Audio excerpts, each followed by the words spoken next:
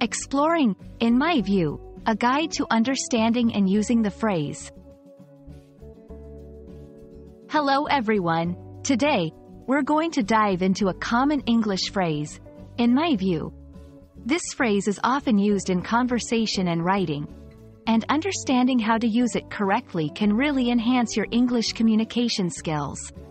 Let's explore what it means and how you can use it in different contexts.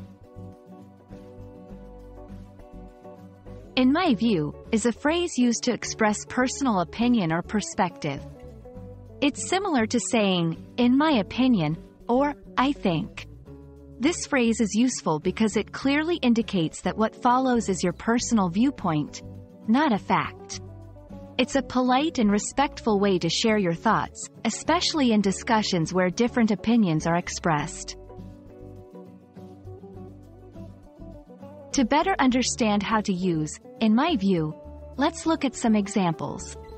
1. In my view, the movie was more thrilling than the book.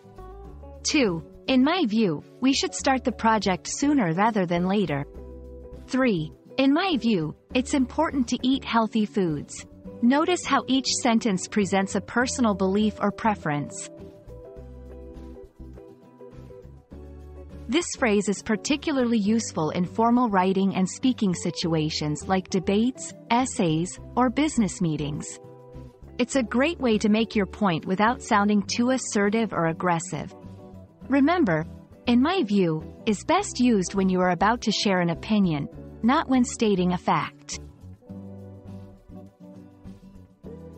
There are several other phrases you can use to express your opinion. In my opinion, I believe that. I think that. From my perspective, each of these serves a similar purpose but can add variety to your language. I hope this video has been helpful in understanding and using the phrase, in my view. Remember, it's a great tool for sharing your opinions in a clear and respectful manner. Keep practicing, and you'll soon be using it like a native speaker. Thanks for watching, and see you in the next video.